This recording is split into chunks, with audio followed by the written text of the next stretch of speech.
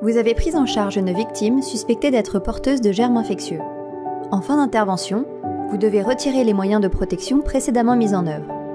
Pour éviter toute contamination, il est primordial de ne pas toucher votre uniforme ou votre peau avec la partie extérieure de vos équipements.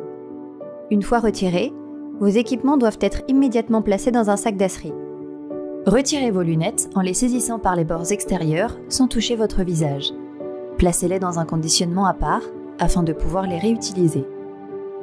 Saisissez votre masque à deux mains sur la face externe en prenant garde à ne pas toucher votre peau.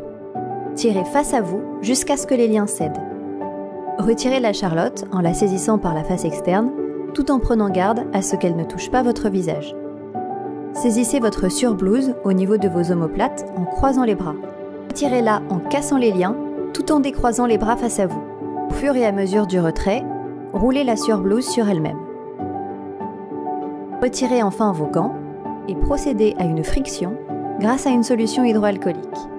Vos mains nues n'ont pas touché les faces externes des équipements. Les équipements, une fois ôtés, sont placés directement dans un sac d'acerie.